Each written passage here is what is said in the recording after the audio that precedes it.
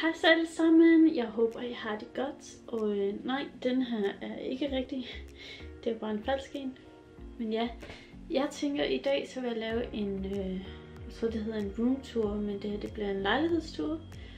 Øh, så ja, jeg tror ikke jeg har lavet en før, men ja, det bliver super spændende, super hyggeligt. Øh, men ja, skal vi ikke bare øh, gå i gang? Så det første sted, vi starter, det er foran min dør. Som I nok kan se, jeg har et kikhul. Øh, men jeg tror, hedder det kikhul? Jeg ved ikke, jeg har sådan et, som man kigger ud af. Øh, men jeg er for lille til det, så det er lidt noget lort. Ja, det er i hvert fald min dør. Så øh, nu vil jeg tage jer med videre. Så super. Så starter vi her ved hoveddøren. Øh, så har vi mit relæ, og så har vi to skilte, hvor det står, står Pink isn't just a color, it's an attitude, og Laughter is really the best medicine. Um, det er nogle, jeg har fået af min mor, så jeg ved ikke, hvor hun har fra. Så går vi længere ned, så er der mit skateboard, som jeg nærmest aldrig bruger, og øh, nogle hestestøvler. De der hestestøvler, og så er der mine sko hernede, og nogle leggings til de her støvler. Så ja, og det er lidt for langt, så ja. Så går vi hen ved siden af døren, så har vi et lille bord. Du er ikke i fokus sådan der. Så har vi et lille bord, hvor jeg har nogle øh, skærbrætter og øh, nogle, hvad hedder sådan nogle der grydeting, jeg ved det ikke, og så er der lidt rød hernede. Øhm, og så har vi mit bestik her i, som I nok kan se, der er også lidt rodet. Jeg mangler nogle kasser, men øh, dem jeg havde, de passede ikke. Så er der mine nøgler og en lille mønt, hvad hedder sådan en spargris, sparsut, jeg fik i dåbsgave, tror jeg nok. Og nogle æsker, øh, der kigger vi ikke ned i. Og så er der sådan en, øh, hvad hedder det, opslagstavle med things to do, don't forget, already done, shopping list og sådan noget. Øhm, som den skal op og hænge på et tidspunkt.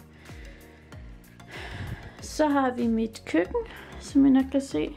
Jeg har ikke nogen lover for, og det er pisse irriterende.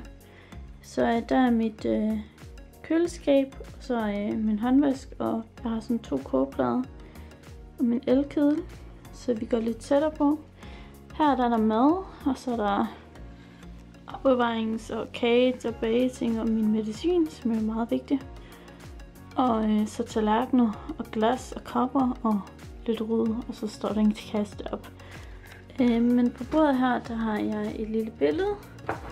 Og så har jeg, der står chiafrø, men det er egentlig te, marcipan te. Og så har jeg te den her, og den som jeg har fået i julegave, så jeg ved ikke, hvor den er fra. Noget hjemmelavet limonade. Det skal egentlig bare smides ud, og køkkenrulle. Jeg mangler en køkkenrullesholder. Og øh, mit gryder, ikke gryder, skeer og balletkniv og sådan noget, mine kogeplader. Og så er der en flaske.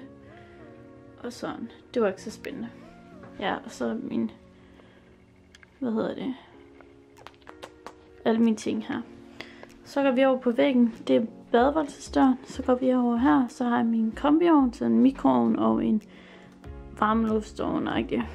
Øh, og heroppe der står der mine brødrester, nogle kasser og papir og sådan noget. Så en kasse, hvor der er ting i, og køkkenrulle, og en bag tror jeg nok min cykelhjem ligger. Den bruger jeg aldrig.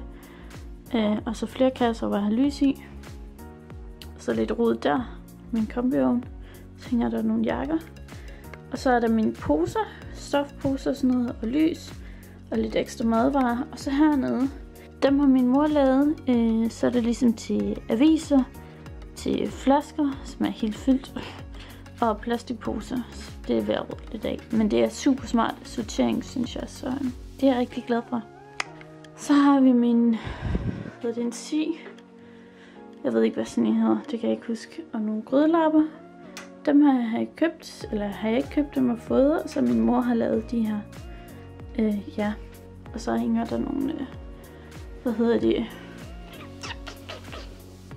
Forklæder. Hedder det ikke et forklæde? Jeg ved det ikke. Øhm, men det er så smart, fordi der er ligesom de her huller i, som man kan sætte hylderne i. Øhm, så har vi sådan en øh, S-krog, som jeg tror de hedder, som man kan købe i byggemarkedet og sådan noget. Så øh, dem hænger de bare i.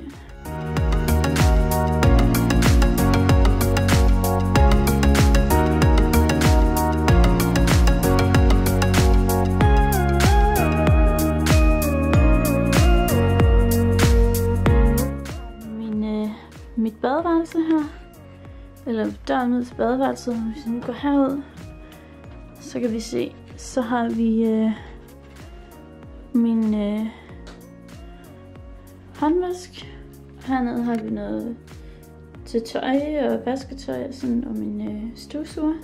Så har min håndvask, hvor jeg har noget creme og noget håndsæbe, der er lidt beskidt. Elastikker, make børster og pensler noget lip scrub og ansigtscreme og ansigtscreme og noget rense. En kop, som jeg plejer at have min telefon ned i, når jeg har musik. Noget bad og min tandbørst. Og så her er spejlet. Så går vi over på den her væg, og her der har vi lavet, øh, eller min mor har lavet sådan en smart brille ting, tingling, øhm, som egentlig bare, jeg tror var det et spejl eller et billede, og så har hun en korkplade, og så sådan noget tapet, halløjsa, sat på, og så sådan nogle, øh, sådan man kan se nogle kroge der, og det her det er med tombobriller. Og så har vi, øh, jeg har sådan en morgenkåb og de ting, som jeg nok aldrig bruger, og et håndklæde. Øhm, så har vi øh, et skab, hvor jeg har mine rengøringsting og alle mulige andre ting i. Og så har vi lidt små ting her. Der er fx make-up. Make-up servietter og en skål til en farvet hår. Øhm, og noget børste og noget hårting her. Og så står der noget makeup her på. Der er min mascara og mine læbestifter. De fylder faktisk 1, 2, 3, 4 og sådan nogle rum, og så står der lidt ekstra. Og så den her har jeg fået dopsgave. Den var lidt beskidt. Jo. Oh. Og så er der, den her, den er for 10'eren, men det er mange år siden. Den her fik jeg i julegave. Og så var der slik i, men jeg har fyldt den med øh, vatrumdriller. Så står der den her æske, som er for pilgrim, øh, som jeg har fået min kæreste i julegave. Og nogle små ting. Øh, her småt står der nogle smykke, sådan et smykketræ, jeg lige har fået i gave. Øh, og en elektrisk tandbørste, som jeg nærmest aldrig bruger. Det er ikke så godt. Øh, så har vi mit tørstativ og nogle klemmer. Og så har vi noget makeup hernede i den her kasse. Den er fra Jysk. Planten er fra øh, Rema 1000, og den her den er også for Jysk. Jeg synes, den er så flot. Øh, og den her lille krukke her, den er fra en genbrugs. Koster 5 kroner. Så har vi sådan en kur her med låg, og der har vi alle mine nejlakker. Og så har vi min lille parfumesamling. Det her det er bare nogle formel og sådan noget. Så nu har jeg fået, det er Apple Levine's parfume, første parfume. Og så er der den her, der synes jeg er ret sejt, den er hud. Den er fra Police, tror jeg nok. Den vil ikke fokusere. Ja, den er bare super sej. Og så er den en Gucci, som jeg har fået. Og så er der et lille lys, og der lå en ting her, som jeg lige har fjernet. Så står der to kasser, og der er der kvindeting, hvis I forstår sådan en lille en. Så ja, og toilettet, det er ikke så spændende, en lille toiletspand, det skal man have som pige. Og det her, det er mit badforhæng, og det er her, hvor jeg tager alle mine billeder nærmest. Mine selfies, fordi jeg synes, det er en flot baggrund. Øh, og det er bare mine bruser. Så var der sådan en random tre spejl her. Det er bare mine bruser og sådan noget, så det er ikke så spændende. Og her, der har vi så mine håndklæder. De købte i Jysk, det er det samme som de derovre. Og spejlet. Øh, så ja, det er mit outfit. Vi kan lige hurtigt tage det. En woman t-shirt, som jeg har købt i genbrusen. Et par bukser, som jeg også har købt i genbrusen. En hat, som jeg ikke kan huske, hvor jeg købte fra. Mine briller, fordi jeg kan ikke se noget. Øh, Øreringen, de er fra øh, H&M. Øh, og min læbestift, den er fra Kiko, som vist nok er et italiensk mærke. Og så har jeg nogle smykker på her, som jeg ikke lige har på før, men dem har jeg lige taget på. Så, så går vi ud igen. Ud igen.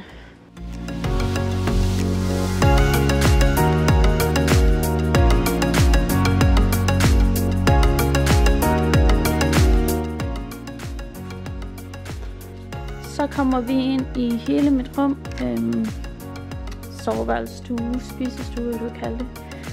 Det er bare en etværelses, jeg bor i. Øhm, Og her har vi min bænk, som er fyldt med ridestyr, som skal sælges. Og så har den en pude af lammeskin.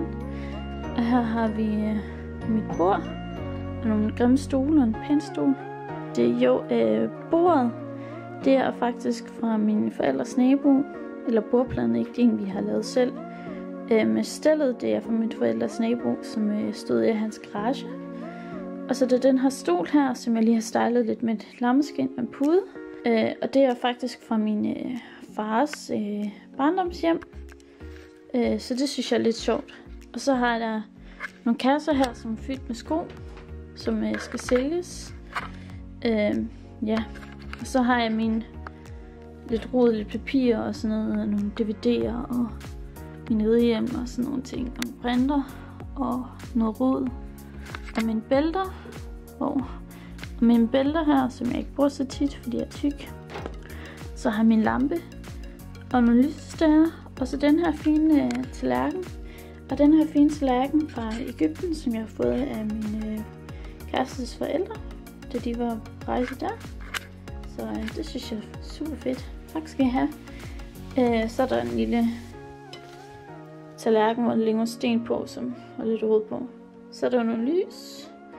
Og så min, øh, jeg er jo hestepige, så skal jeg have nogle hesteting. Så jeg har sådan en lille figur, og så et duftlys og nogle roser. Øh, og så kan jeg lige tjekke min øh, udsigt ud. Og selvfølgelig bil og sådan noget, og et cykelskur. Men det her, derude, der er vandet. Her er der nogle bygninger, og så er der marken. Det der vand der, det plejer ikke at være der. Øh, så ja, og så om sommeren, så øh, går der køer herude, så det er super hyggeligt. Så er der min øh, lille skammel, som jeg har glunset ved øh, op fra øh, Viby, fra min søster i. Og min taske. Og så er der min øh, tørlysestør, som jeg har fået i julegave. Og øh, en ting, hvor der er slik i, og nogle billeder. Jeg har selv printet det her ud. Og så herom, der står der, be weird, be random, be who you are. Øh, som er lidt mit motto. Og så er der den her enhjørningsfigur, som jeg lige har fået. Og så hernede, der står der mine øh, bøger, mine studiebøger. Og nogle papirting. Og så står der min symaskine. Og øh, min lille strygejern, rejsestrygejern og nogle mapper og sådan et. Så går vi herover, og så øh, har vi mine ølkasser, som øh, har været min fastes. Øh, da hun boede i Sønderborg i 70'erne, tror jeg nok. Nu har jeg dem. Og så har det også været min søsters. Øh, eller en af dem. Og så hernede, der har jeg elektronik, og så er der lige lidt rod, som jeg ikke hed. Jeg ved ikke helt, hvad jeg skal komme ind i den der, så det står bare et eller andet. Øhm, og så er der mit lille bitte fjernsyn, så det er meget fint. Og så hernede står der mine ukuleler, og nogle rosetter, som egentlig skulle hænge herop, men de falder ned. Øh, og den første, det er for Guitar, og så den næste her, den har fået af min kærestes forældre i eller familie i fødselsdagsgave, så mange tak for det. Jeg har spillet på den, og jeg er så glad for den. Øh, så går vi lige over, jeg skal have noget luft. så går vi lige over øh, og ser min væg. Det er meningen, at der skal hænges flere billeder op, eller papirsbilleder, fordi det bare er printet ud. Øh, det her er det, jeg har taget fra Sverige af. Det er også fra Sverige, det har min øh, tvillingesøster taget. Og så har jeg taget det der, og så resten det er fra nettet af. Så øh, det synes jeg var ret fedt. Og der ligger flere hernede, der skal printes ud, eller printes ud, men sættes op. Så har vi min sølvlænestol, som jeg købt på loppemarkedet. Øh, for 10 kroner, så var vildt dyrt. Og så er der lige et lammeskins øh, tæppe, eller lammeskins tæppe, og en pude, også med sådan noget skin. Det er bare sådan noget fake noget. Så har vi mit tøjstativ, hvor der står nogle sko hernede. Øh, og den her, den har lige købt, og der står en jakke fra Føtex og Little, ja, Genbrugs og H&M og Asos og sådan noget. Den der, den har jeg selv lavet. Det er super fedt. Så er der igen elkasser. Og den nederste, der er ikke noget i. Og så her, der står et smykkeskæng, og der plejer mit kamera at ligge sammen med nogle briller. Så er der nogle blade, kostumblade og hvidhesten og et IKEA-blad, kan jeg også se, det ligger. Så har vi en lille lysestage, som jeg har fået i julegave, og en lampe. Så den her øh, ting, sådan, det er bare sådan en sjov lille ting, som jeg købte i Netto. Og så er der nogle bøger, som øh, jeg ikke læser i. De er bare til pynt. Øh, men jeg synes, det var så fint. Så har vi min seng her. Øhm, og jeg synes, det er en super god seng. Den er bare købt i Ikea, og så er det en palleseng, som I nok kan se. Og så står der nogle sko og noget hesteting indenunder. Øhm, men ja, I kan se min hovedpude der, og så er der nogle lidt pyntet, sådan lammeskins. Det er en rigtig lammeskins. Og så er der nogle fake pelspuder, og så de her, og så en lille hestepude, som min mor har lavet til mig. Øh, og det sorte, det er faktisk ud af et par bukser, så det er ret sejt.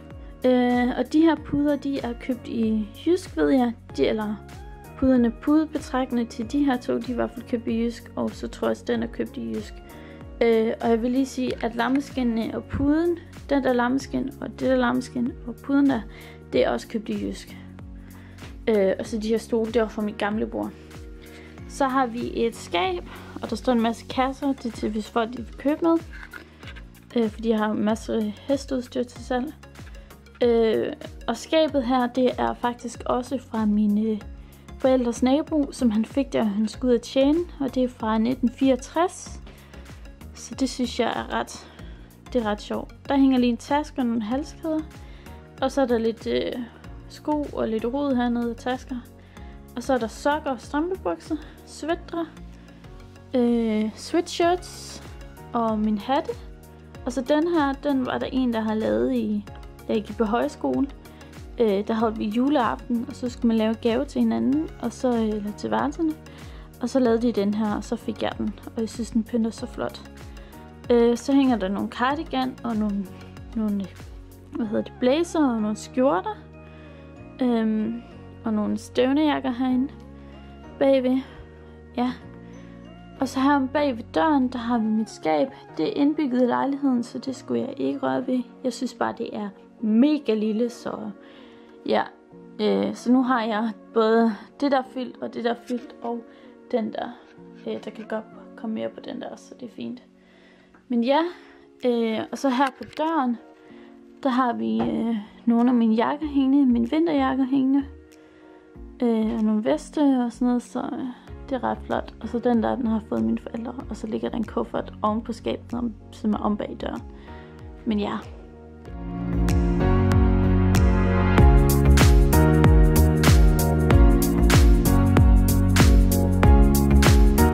Jeg vil lige hurtigt... Ej, jeg stiller lige ned. Så jeg vil lige hurtigt blive...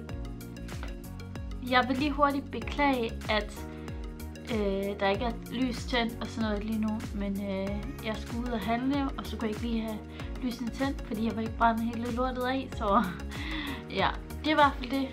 Jeg håber, I så med, at I kunne lide den her video.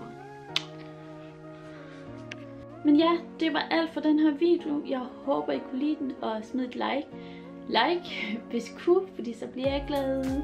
Og hvem kan ikke lide at være glad? Øh, men ja, jeg håber, I synes godt om den video. Det ser jeg også i før, sjovt nok. Øh, men ja, jeg håber, I kunne lide den her video, og øh, det kan godt være, at jeg laver en lidt opdateret, fordi at, øh, jeg har nogle planer om, at der er nogle ting, vi skal lige ændres lidt på. Men ja, sådan er det jo. Øh, men ja, hvor mange gange kan jeg sige, men ja. Men okay, det var alt for den her video. Jeg håber, vi ses en anden gang, og så ses vi bare. Uh, bye bye!